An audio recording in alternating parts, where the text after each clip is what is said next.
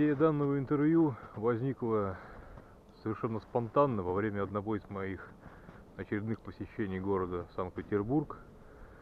И толчком послужила встреча с известным музыкальным журналистом и блогером Дмитрием Песовским, который на протяжении многих лет брал интервью со мной, с другими участниками, музыкантами и участниками моих проектов, там, наших проектов, а сам при этом оставался в тени можно сказать. И мне показалось это не совсем справедливым, и я решил сделать серию интервью с людьми, интересующими лично меня. Ну и так получается, что первым допрашиваемым будет Дмитрий Песовский. Изначально позвучка должна была быть на диктофон, но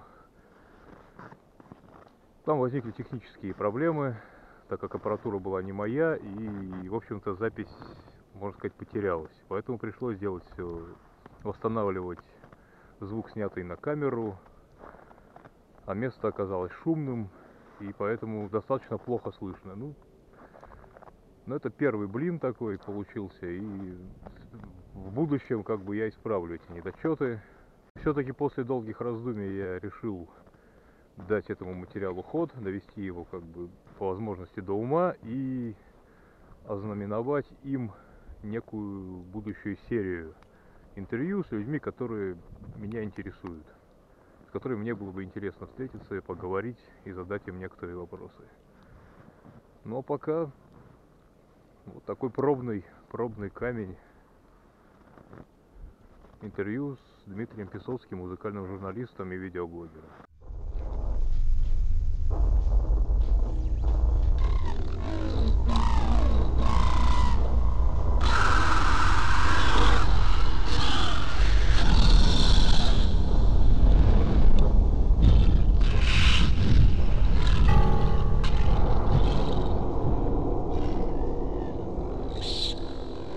Просьбе Дмитрия мы собрались в школе, в спортзале школы, где он учился, с которым у него всегда были теплые воспоминания.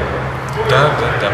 Это связанные. сейчас мне уже порядка 40, но представьте, я когда-то был совсем юным человеком, в этом спортзале занимался физкультурой. Посмотрите, все пришло в какое-то небытие, какой-то тут ад. Но поверьте, как Раскольников говорил, школьные годы как солнце, как зелень. Можете послушать такой трек, называется «Судоски». Вот, по сути, эти воспоминания, они созвучны тем, что я испытываю по отношению к школке. Школке, в которой учился в свое время, ну вот к этой, то есть, да, спортзал. Да, будем лучше, первый вопрос, скорее всего, будет по твоему творчеству. Это, например, когда был сделан твой первый выпуск и кто был его первым персонажем? Первый выпуск был сделан, когда мне было, я говорю, это мне сейчас уже около 40 лет.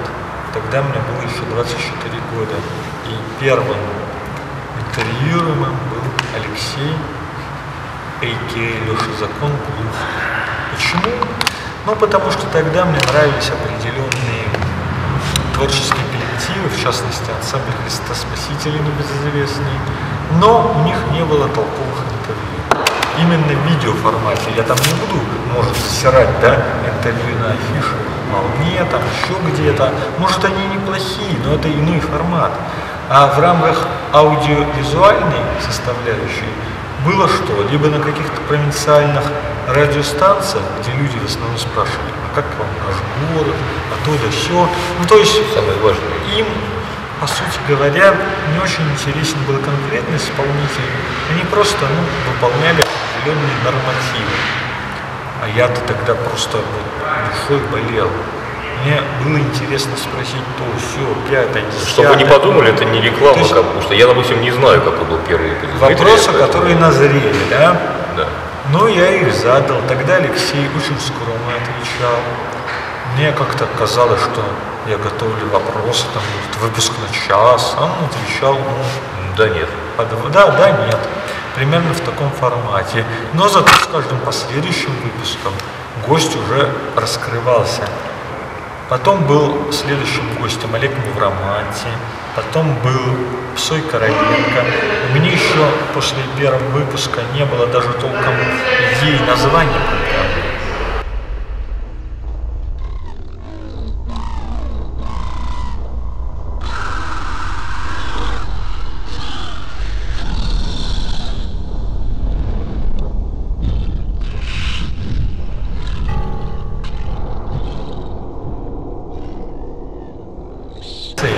Их несколько. Прокачать коммуникативные навыки.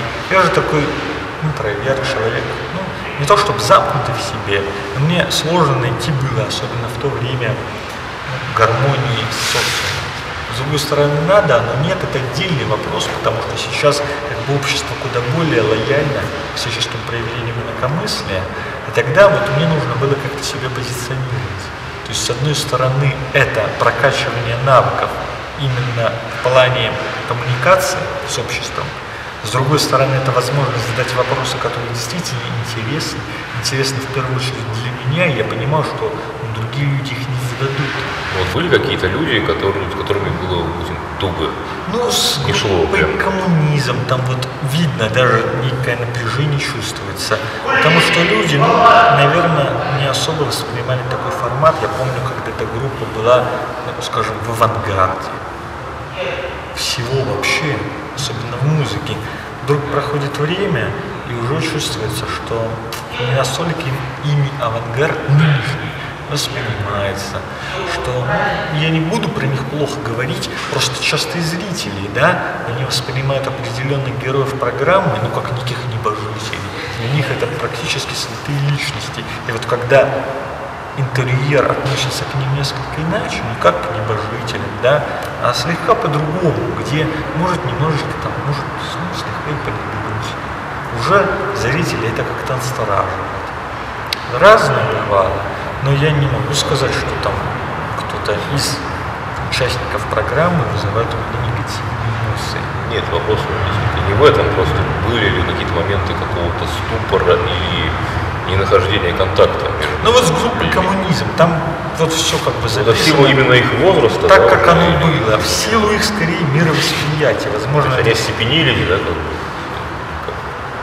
ну, я больше к таким авангардным темам подводил разговор. Они больше вот со своей точки зрения, которую- Консервативно, да? Ну да, да, то есть вот человек, который, Живут прошлым. который как бы носит футболку с имперским флагом, но при этом поет «Лед под ногами Маюка». Вот.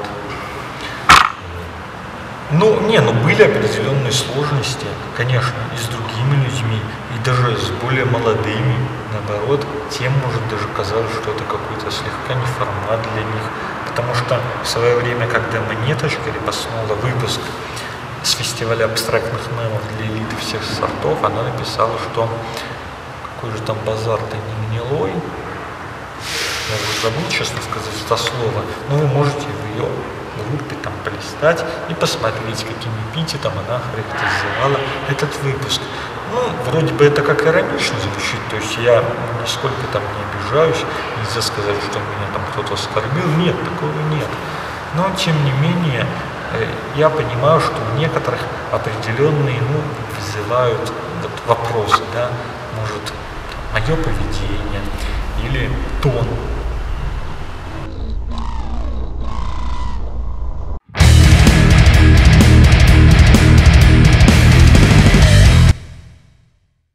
Вторую часть интервью с Дмитрием мы решили снять в более живописном месте на берегу Невы, на фоне Дворцовой площади. И, соответственно, переместились из школы, где учился Дмитрий, на набережную реки Невы. Но, но там, как оказалось, нам сильно мешают различные катера, моторные лодки, проходящие люди и так далее, но тем не менее это отразилось только на звуке.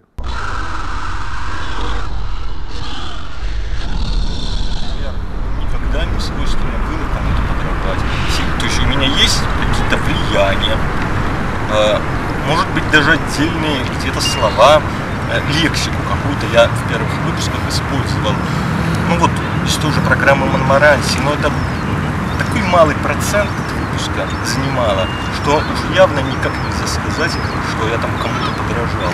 А так, ну, не знаю, вот это, кстати, тоже интересная тема, что если творческая личность изначально встает на этот путь подражания кому-то, под кальку что-то делает, сможет ли она потом выйти с этого пути и создать что-то свое самобытное, оригинальное? Как ты относишься вообще к вот исполнителям? Да, но тут опять же Глубокой провинции. Да, мы живем опять-таки в открытом мире. Сейчас интернет, Считаешь, деревья. что все это стерло? То есть э, стирается, еще может не до конца, но опять-таки, ну, скажем, молодежь та же самая. Она что в Петербурге смотрит на YouTube каналы определенные, что и в какой-то глухой деревне. Те же самые каналы. Интересуют их те же самые там бифы блогеров, те же самые реакции каких-нибудь, да неважно кого. То есть одно, одно и то же там популярно везде. То есть если раньше с опозданием до каких-то, даже не то что деревень, городов отдаленных доходило, ну мода может и сейчас доходит с опозданием с небольшим, но опять-таки есть интернет, можно заказать из-за границы одежду, ее доставят в почтовое отделение сельское. То есть даже в этом плане тебе не обязательно, находясь в какой-то деревне, покупать одежду вот на, на базаре, да, можно заказать через интернет. Ну а уж что касается музыки, да, если там раньше кассеты доходили очень поздно до вот все, теперь-то, пожалуйста, интернет. А у тебя есть вообще какая-то коллекция каких-то носителей? Да, изначально таким фетишизмом я занимался. Даже несколько есть виниловых пластинок коммунизм, гражданская оборона есть пластинка бокс. Ну, Дорс там они такие, в принципе, они не раритетные. Они выпускались массовым тиражом, сейчас на Авито можно это все купить без проблем, тем более это российские версии, ну, издания, даже советская. Там есть одна пластинка, ну и альбомы тоже гражданская оборона меня имеются. Да. Ну, конечно, сейчас уже я этим не занимаюсь, сейчас мне это не интересно. Как предмет коллекции, как это сохраняют? да? Ну, да, а что с этим делать? Можно было бы, конечно, выставить на продать. Но нет, пускай А будет. вот по коммунизму, например, ты брал у них интервью тоже. Да. Я еще я участвовал косвенно. Вот Как ты думаешь, вообще есть какие-то перспективы у этого проекта или это чисто такой ностальгический проект? Ностальгически, конечно. Я вот там сказал, и, э, может даже, ну опять-таки, повторяю часто сегодня, но ладно, как-то так вышло, без попытки задеть. Э, Сказал, что напоминают ваши концерты, встречи. Ну и публика соответствующая. Публика там еще интересно, когда ты интервью вышло, в комментариях писали люди, для них-то это все какие-то опять-таки средства положительные кумиры, и с которыми, видимо, надо во всем соглашаться, а там интервью, ну, оно не сказать, что было в состоянии какого-то напряжения, но оно можно понять, что там много точек, в которых наши позиции никак не соприкасались, не пересекались. И вот некоторым людям это непонятно. Ты считаешь, это вот именно из-за разницы в возрасте? То есть люди разные эпохи? Ну да, ну может быть, потому что одно время, конечно, вот люди, которые были в авангарде, самых передовых взглядов, как ни странно. То есть там, условно говоря, тот же Дудин Лимонов, они были передовых взглядов, несмотря на то, что там Дудин топил еще 90-е за консервативную революцию. Но на фоне того, что творилось в стране, на фоне общего политического мейнстрима, это было авангардно, это было как-то интересно, это не было возвращение в прошлое, это там трудовая Россия КПРФ, разумеется. Это совсем были другие проекты. Но спустя годы вот эти люди превратились в каких-то, конечно, со всем уважением к их творчеству прошлого скажу, что сейчас они мне, тот же Проханов, разумеется, не интересны. Ты считаешь, что возрастной консерватизм? Ну, они же и тогда были вот в возрасте, да. Тот же Лимонов, он был ну, далеко не молодым человеком в 90-е годы, в начале нулевых. но как-то вот он задавал тон. То есть не то, что он, скажем, во-первых, он чувствовал знаки времени, да, вот знаки времени важно, кстати, такая формулировка, если консерватизм. А, и он не просто там ловил волну, которая была, он сам задавал вот этот тон тогда. И это было очень круто. А потом как-то все это сошло на нет. То есть нельзя сказать, что они изменили уж какие-то свои принципиальные позиции, а, а каким-то, может, изменили, потому что Лимонов сказал, допустим, после присоединения Крыма ходить по 31 числам и протестовать, это вроде как уже предательство по отношению к своей стране. То есть тем самым мы поддерживаем Госдеп. Ну, я не совсем, может, точно в формулировках, но по сути вот что-то очень похожее сейчас э, сформулировал. М, А в, в целом, ну, взгляды-то во многом те же остались. Но опять-таки, о чем мы говорим, что истина, она в перманентном, постоянном движении находится. А у тебя не было никогда желания заниматься писать текст? Да, было, но когда мне было там лет 17, я даже писал определенные тексты песен, представляю, что я где-то буду исполнять их со сцены. Но я далеко не продвинулся в этом вопросе, я пытался учиться играть на гитаре, но как-то потом достаточно быстро забил и стал искать иные формы, где я могу реализовать себя как творческая личность. Какие вот из интервьюеров тебе нравятся, производят впечатление или вызывают какую-то симпатию? Да, но я вот говорил, что какие-то влияния определенные, конечно, были. Вот та же программа Мономаранси, это именно в первую очередь. Лаевский. Да, программа Александра Лаэртского Мономаранси выходила в 90-е годы на радиостанции «Эхо Москвы». Ну вот там, пож- пожалуй, вот то, то, что сегодня молодежь для себя открывает по новой, такие темы, как, например, постерония, там это все уже тогда было.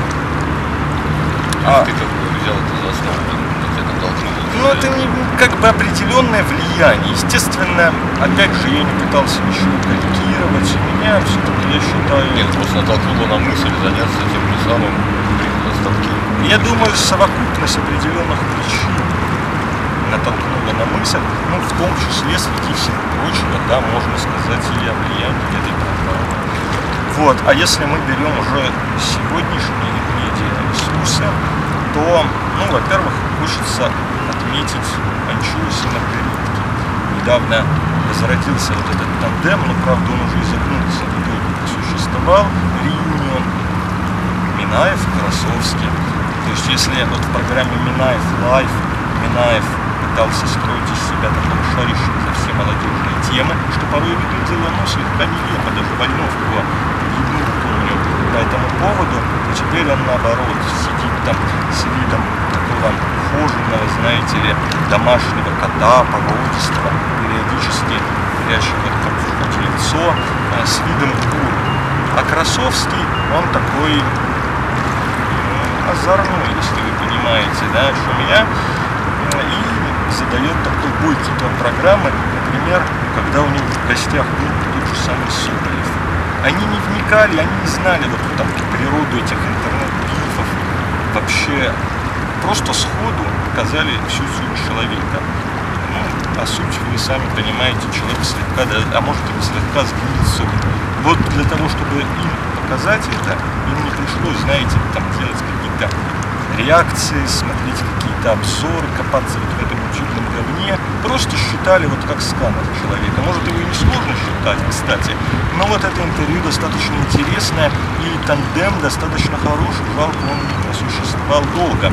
А если мы говорим про Минаевский сквайр, там он берет интервью, они, конечно, уже не столь интересные. Э, Но, но интервью с фараоном у него явно было на порядок выше, чем интервью с фараоном техническая база, и совершенствовать их не устраивает, так как тебе есть на данный момент. Да, по поводу, кстати, Дудя, вот тоже может быть интересное мнение. Э, Ну, народный, народный такой персонаж. То есть о чем люди раньше шушукались там на кухне, кто с кем спит, кто на кого-то учит, кто сколько зарабатывает. Вот он это внес в личную сферу, и многие это считают, видимо, журналистской смелостью. Поэтому он столь любим, что он задает те вопросы, которые интересны ну, широчайшим слоям населения. Но мне понравилось, как, вот, как у меня были интервью месячными, Слава КПСС сказал, я опять же не дословно цитирую, но близко к оригиналу, я тогда так притворился, не особо понимаю, почему он не очень хорошо относится к Дудю, и он мне пояснил, что если ты берешь интервью творческой личности, то, может, можно что-то спросить иное, помимо того, с кем ты спишешь, сколько ты зарабатываешь. Может, если это творческая личность, то эта творческая личность способна рассказать еще что-то. Вот, да, теперь по поводу технической базы. Технической базы, конечно, некоторые люди, может, думают, что там с оператором программе или еще что-то. Нет, это наоборот постоянные вложения. То есть я, конечно, в этом плане скорее тут в материальном плане, потому что от партнера какие-то копейки просто ни о чем. А тем более последнее время там за музыки, монетизацию включают. В принципе, это уже понятно, на этом не заработаешь, поэтому я к этому спокойно отношусь. А базу могу соответственно, если вы даже вспомните первый выпуск, там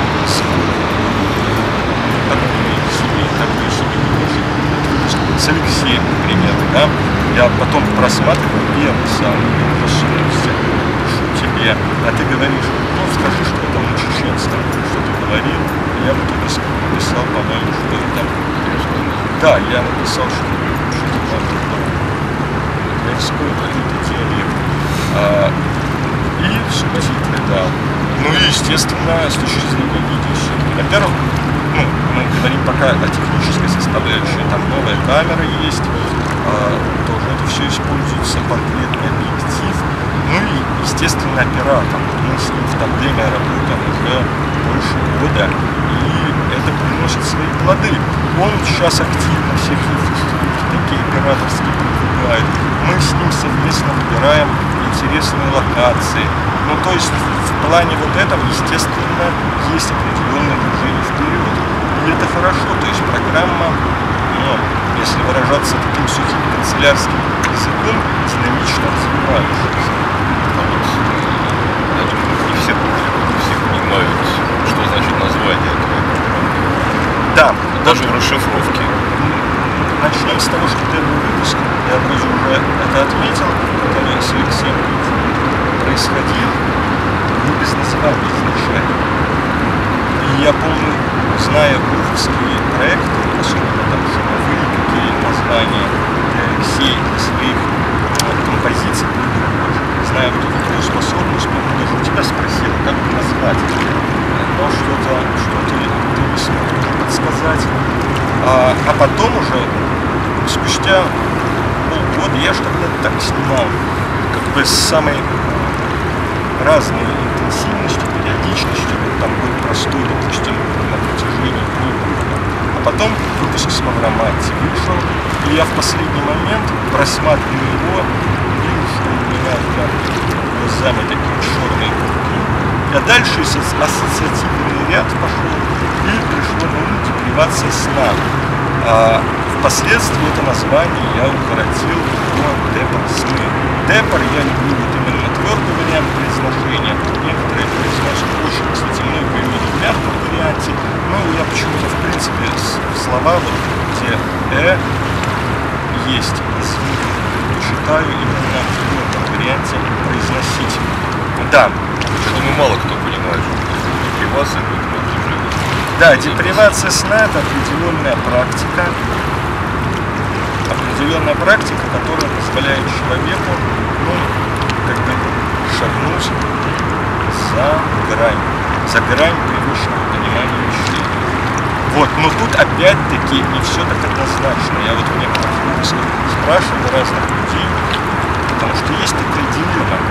Если художник «Предавайся сну», почему призывал Пастернак, а с другой стороны ведь сон это тоже, это открытие метафизических горизонтов мысли. Он тоже нам позволяет шагнуть за грань привычного понимания вещей. Поэтому хорошо и то, и другое. То есть в этом плане я за гармонию, вроде противоположные Но если использовать и то, и другое как практику, то можно и там, и там прийти.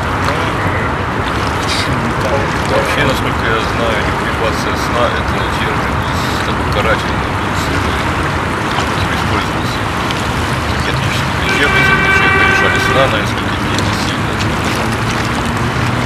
Там выбить какие-то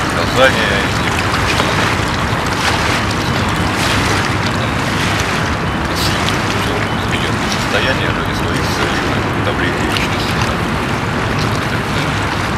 Да, ну я когда название придумывал, у меня это все-таки больше ассоциировалось с добровольной практикой отдельных личностей. Если вдруг власть, наверное, надо сказать, не дай бог, не дай бог поменяется, то ведь и министры всякие, и депутаты, они тоже будут говорить, что мы просто довольны, мы просто угорали, выступая где-то в Госдуме, да, к примеру. И тут, конечно, важно разграничить, что от их троллинга угара зависит судьба огромной страны, а если мы говорим про же Славу КПСС или ансамбль, то это все-таки творчество, это другое. То есть вот мне, кстати, и нравилось там запрещенная НБП, э, скорее такой авангардный проект именно с точки зрения творчества, именно с точки зрения художественного вкуса. А с точки зрения политики, ну, многое стало воплощаться в наши дни и, конечно, воплощаться в самых неприятных формах. У тебя есть какие-то политические взгляды вообще, или тебе для политики? Ну, наверное, можно назвать, вот, кстати говоря, когда ты спрашиваешь про интерьеров, которые у меня вызывают симпатию, ну, надо просто, наверное, упомянуть популярных людей, того же Дудя, поздно. Вот интервью у него недавно было с министром финансов. Это настолько отвратительно, у меня вся уважение к считаю, что пропало после этого интервью, потому что интервью пропагандистское. Вот тема с повышением пенсионного возраста, она по телевизору ну, всячески подносится Леонтьев, Киселевым, ну, с расчетом на совсем глупую. А здесь та же пропаганда, но для людей поумнее.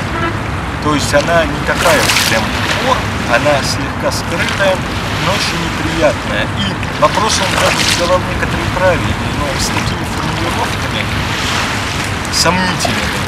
Поэтому я окончательно на фоне всего этого понял, что я не либерал, хотя отдельно либеральные ценности, ну, я понимаю, это как бы мои ценности, отдельно взятые. Свобода слова, там, свобода частной собственности и так далее. Но это, скажем так, ну, самое важное. То есть я, наверное, в большей степени социал-демократ. Какой твой любимый алкоголь? Какой самый нелюбимый? Самый нелюбимый, наверное, на сегодня. Опять-таки, кстати, по многим вопросам, естественно, мое мнение меняется. Опять же, по причинам, которые уже были здесь озвучены. Да? А, но на сегодня, наверное, не любимый это водка. Потому что, ну, я не чувствую вкуса. То есть я так воспринимаю, кто кому-то нравится, особенно там холодное, и люди любят ну, определенный вкус, но мне хочется, чтобы в алкоголе он был более ли. Потому что задача-то не просто не пениться, а задача насладиться вкусом. И если мы говорим про крепкие виды алкоголя, то это ну, в первую очередь настойки а-ля Бихеров, это то же самое. То есть нравится? Егерь, конечно, да, это мне нравится. Очень интересная венгерская тема. Вот это мне нравится. И, ну и иногда, хотя последнее время реже, но одно время я любил и ром, и виски. Сейчас как-то я не особо ходил, но одно время мне нравилось. А если говорить про что-то легкое, то пиво, конечно. Последнее время я, правда, не люблю фильтрованное, хотя одно время сидел, что-то такое, сейчас оно неинтересно. А сидор, что там еще у нас есть, это все тоже как у меня. Вообще поддержку? Нет. В основном только на интервью. По-разному. Ну, ну, да. А что сейчас мы как, Это мы сейчас не употребляем, потому что, но с другой стороны, это чего его употреблять? Иногда бывает такая ситуация, что нужно когда я это помню. Ну вот, допустим, интервью со Самый шуперное. И там явно как-то вот ну, не мог я почувствовать волну, да, вот этот ритм беседы, поскольку я был трезвым. А они тоже были изрядно в состоянии, и поэтому как бы такой диссонанс. Оно может и полезно, это тоже хорошо. И так хорошо, и всяк хорошо, не обязательно быть прям на одной волне. Можно по-разному. То есть есть выпуск со скулом вот такой, а есть выпуск, который был уже снят позже, там и я э, изрядно подпитий. То есть, в принципе, просто не все это понимают. Если, допустим, вот Скул там такой, да, веселый, задорный, и его компания, а я наоборот такой серьезный, молчаливый, то некоторые зрители ну, там, это воспринимают отрицательно. Но в этом тоже есть сила преимущества. Поэтому интересно и так, и так, с вашей техникой. Вот сейчас уже спустя годы я понимаю, что интервью, ну оно, естественно, далеко не безупречно, но оно хорошее. Есть меня там, конечно, заслали, скажем так, незаслуженно. И вот отсюда можно перейти к теме этих беседностных комментариев. Их больше всего, конечно, было на видео с,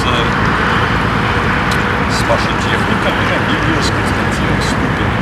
Но знаешь ли, ну не понравился я этим людям. То есть вот какая-то личная неприязнь. Но я знаю просто... Да, да, да. Ну, Ты как ну нет, видимо, каких-то точек пересечения у меня с той аудиторией. Нет, там уже какие-то другие причины. А, не знаю, какие. Но у Ступина аудитория такое себе. Я помню, когда создавал анонс с тем, чтобы задавали вопросы в комментариях. Мы такую херню спрашивали, настолько неинтересные темы. А здесь, ну, я считаю, человека раскрыл еще они недовольны. Там широчайший спектр вопросов, и все так или иначе связаны с творчеством. А люди пишут, он сам любой спрашивает.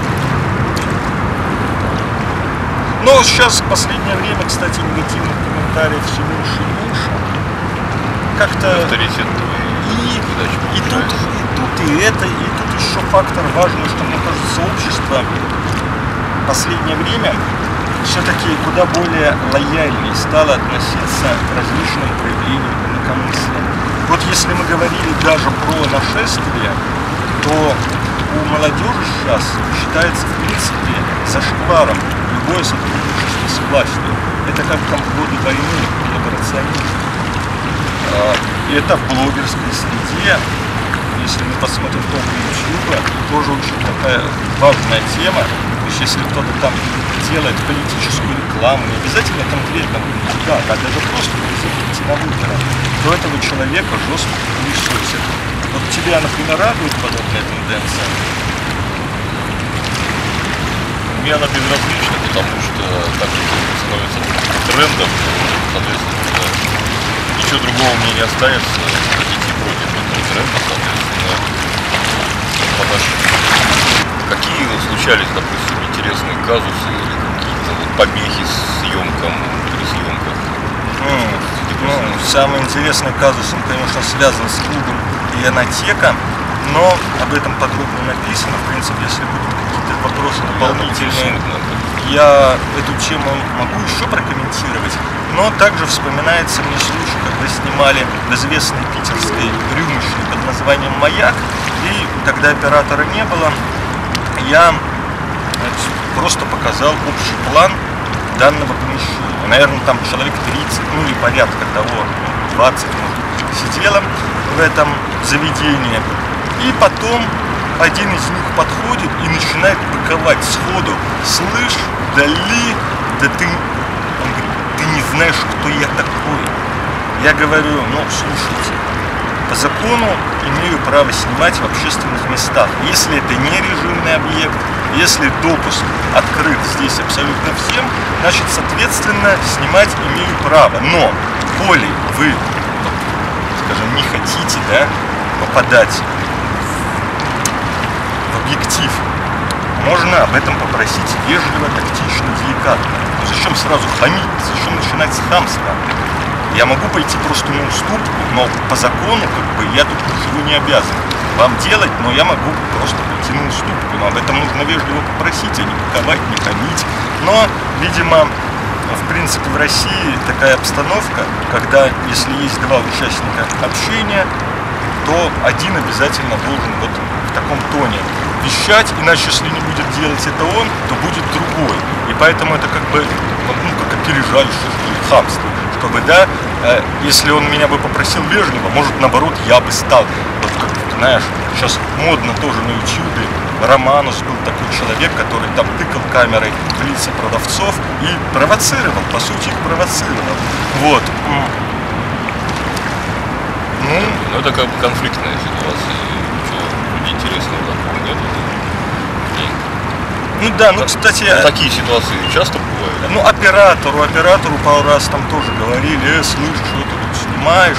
Ну, как-то он так сгладил ситуацию, там было все нормально. Тоже, кстати, в одной рюмочной, вот как раз я ее упоминал как-то в выпуске, где отдельно стоял холодильник сбоку, и было написано, что здесь находится просроченная продукция на дне.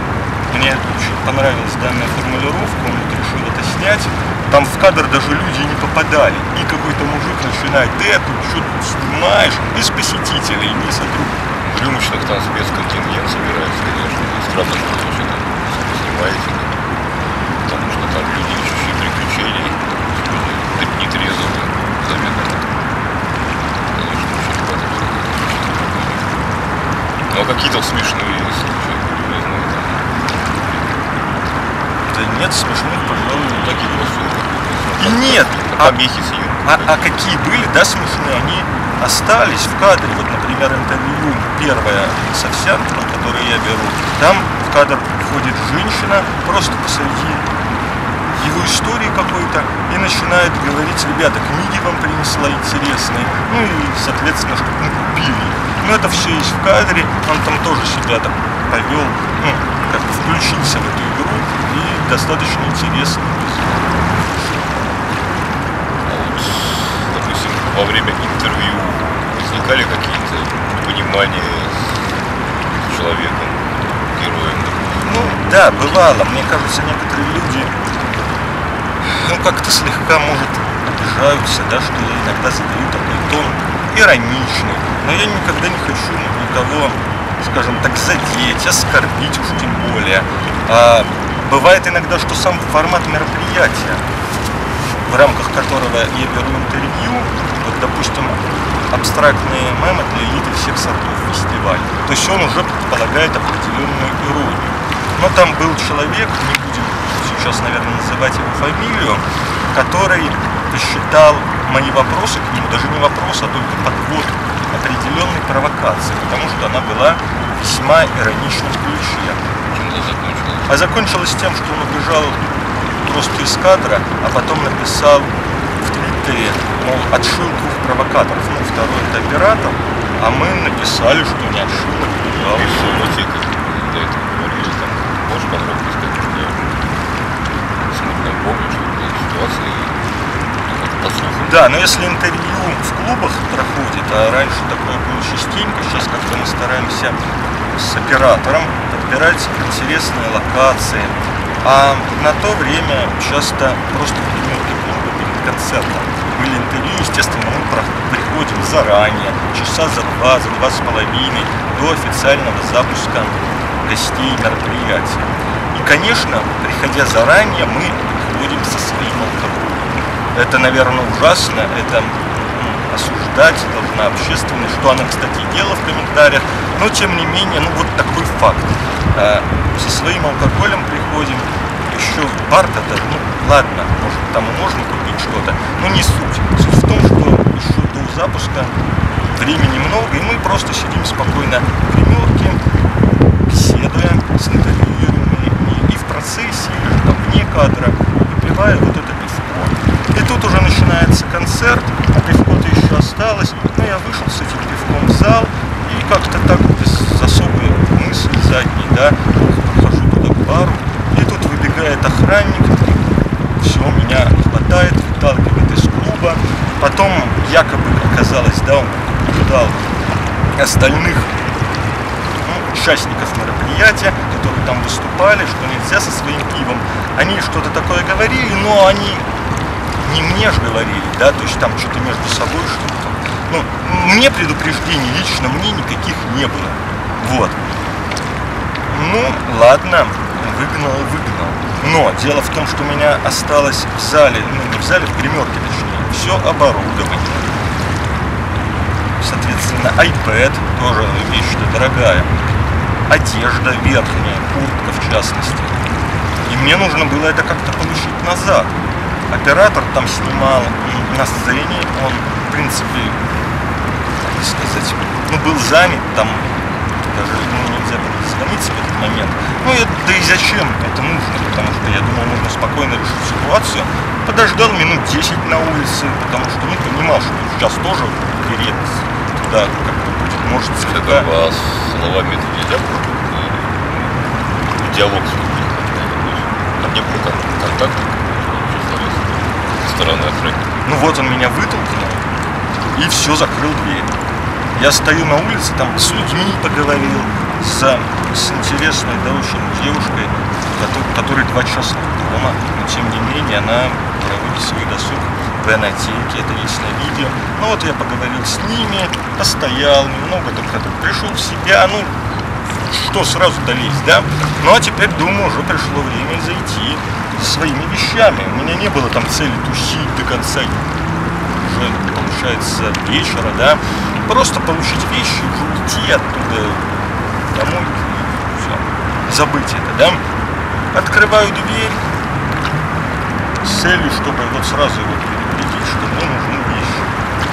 А его нет там рядом. Ну нет, так нет. Я прохожу в зал, ну, а гримерка, чтобы вы понимали, находится через весь зал. То есть нужно пройти весь зал, там будет гримерка. Ну, я иду, соответственно, через зал. Вдруг он выбегает откуда-то со стороны, типа... ну, Там есть это все на записи, не буду сейчас говорить, с какими репликами он выбежал, дабы, дабы не соврать. Но на видео это все осталось. Выталкивает меня еще раз. Я пытаюсь объяснить, ну уже крича, да, что у меня там вещи. В ответ на это он забрызгивает мне лицо перцовым баллончиком с небольшого расстояния, с минимального. Просто вот так вот, вот пшик. Ну, я там целый час хожу как обезумевший. Э, люди дали На улице? Да, да, 100 рублей на то, чтобы я купил молока, помыл лицо, все такое. Ну, естественно, приехав домой, я написал это все в группе, на что последовала такая реакция. Ну, некоторые, конечно, зрители сказали, что получил вполне заслуженно, потому что со своим пивом нельзя. Вот. Ну, а потом появился Ионов. Сначала у него была версия, дескать, я на охранника пытался напасть, махал руками, кричал, да я тебя нахуй сейчас, всячески паковал. В ответ получил. Я не мог сразу опубликовать по техническим причинам видеозапись, потому что ну, там некоторые возникли с этой камерой, но через ну, буквально 2-3 дня я опубликовал. И там абсолютно видно, что кто, ну, нет, кто-то как раз бы был, но не я, скажем, это не я. На что охранник, там Леонову написал, а Леонов это, соответственно, то ли в комментариях, то ли еще где-то выложил, мол, это все, фотомонтаж, все, примерно вот в таком духе это конце. Но я потом уже общался с самыми раз. Естественно, в этот клуб я больше не хожу, поскольку стокгольмского синдрома у меня нет. Потом была э, были диалоги с самыми разными и я понял, что подобное происходит частенько. А вот недавно был скандал, ну, там же два охранника работают на постоянной основе, и причем что один, что другой, они вот очень любят людям в глаза пускать перец. А, был недавно скандал, когда не пустили трансгендера, и Ионов в инотеку. И Ионов, ну, он пытался всячески подмигнуть как бы молодых либералов, видимо, действительно у молодых либералов это вызывает какую-то у них это как, как они как сейчас говорят, точнее говорили, у бомбанет знатно, но с позиции человека более-менее грамотного, ну, как бы это не смешно, это неинтересно, это подъем так себе. А, да, он же еще тогда мне сказал, что я как гражданин США тебе говорю, что тебя бы там расстреляли. То есть он сравнивает вот этого шоповца, понятного, с офицером американской полиции. Но давайте не будем забывать, что в Америке в большинстве штатов все-таки разрешено гражданам носить с собой огнестрельное оружие, короткоствольно, и только, наверное. И поэтому, конечно, там реакция полиции может быть соответствующей, потому что у каждого человека при себе может иметься, ну, например, пистолет. Но как это коррелирует с ситуацией в Ганатеке, мне не особо понятно. Есть такое у меня подозрение, что, значит, ты скептически относишься, допустим, к продюсируемым Ионовым проектам. Сейчас это речка, например, это сильно раскручивается. Ну, да, вот я в данном случае, скажем так, мне бы было интересно взять у нее интервью. Опять-таки, без попытки как-то задеть, оскорбить, мне это не свойственно, но интервью с целью разобраться в сути проекта так детально. А Ты это не хочешь делать по причинам личного заработка после этого случая? Или это не является препятствием в будущем? Кто его знает? Не знаю. Не могу тут сказать.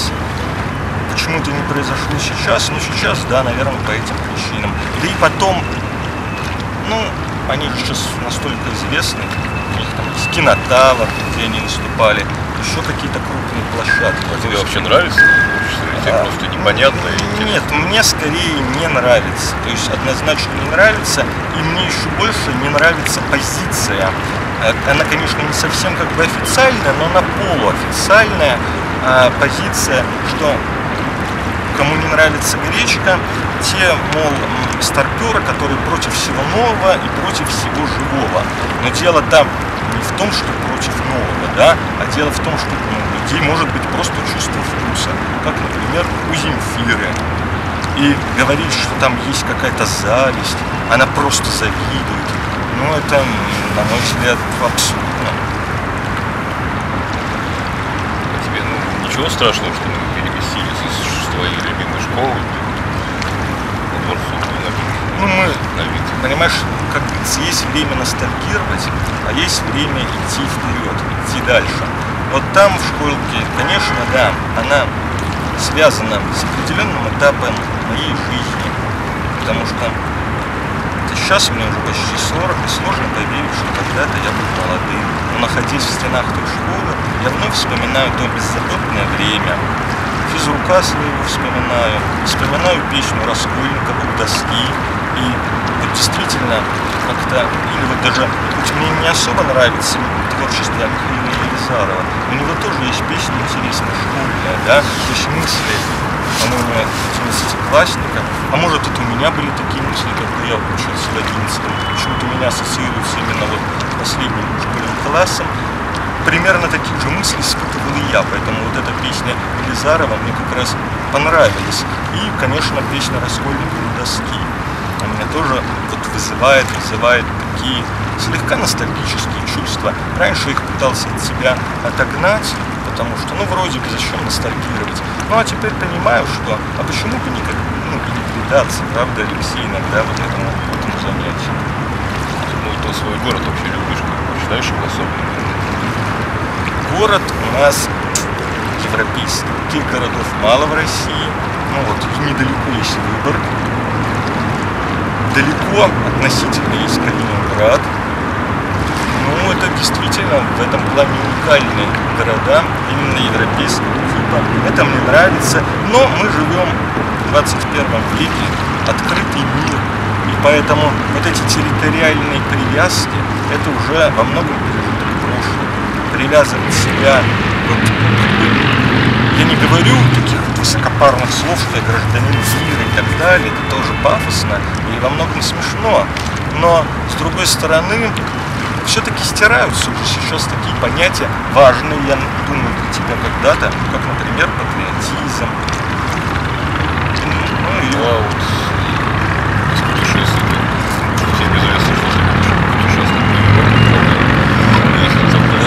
Бывал. Где наиболее Норвегия. Конечно, Норвегия впечатлила. Сейчас, я думаю, уже туда съездить сложно по причине ну, того, что там все очень дорого, а тогда-то курс евро был еще не такой жуткий для россиян, как сегодня. И я мог лицезреть фьорды, гор, водопады.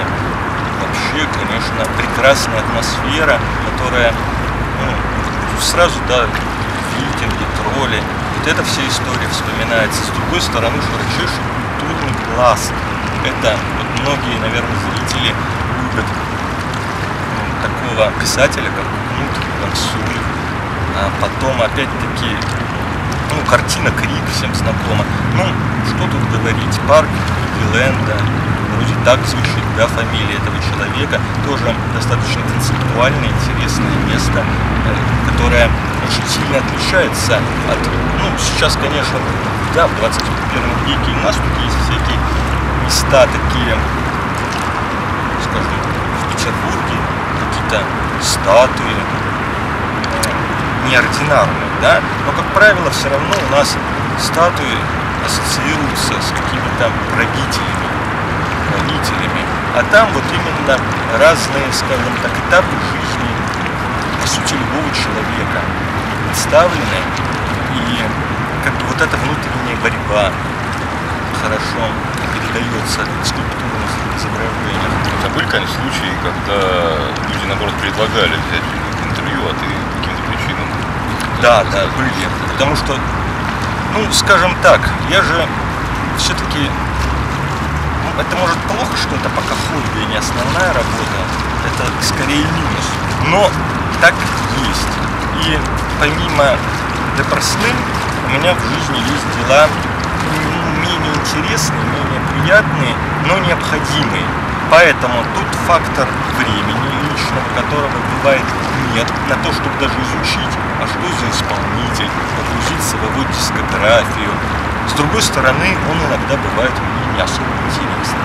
Бывают случаи, ну, когда, допустим, мне нравится какой-то исполнитель, но вот вроде вопросов к нему особо и нет. То есть как ты помолчи, понятно. А может он на эти вопросы уже ответил в других интервью. Но такие люди-то и не предлагали. Предлагали в основном люди, еще творчество мне неизвестно. Я имею в виду, когда я отказывал. То есть предлагали, конечно, люди, ну, еще творчество я знаю, и тогда я соглашался, да. То есть, допустим, тот же Слава КПСС, он же вышел первым на связь, я ему писал. Тот же Овсянкин вышел первым на связь. Ну, много, много было, было людей, которые выходили первыми на связь, особенно вот в период, начиная с 2017 года.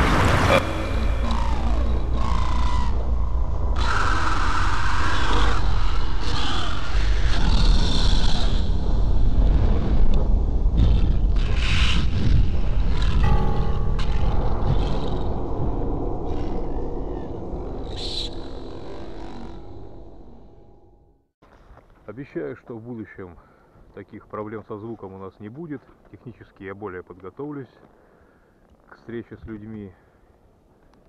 И будем ждать новых выпусков. Надеюсь, что мне это не надоест. С Богом.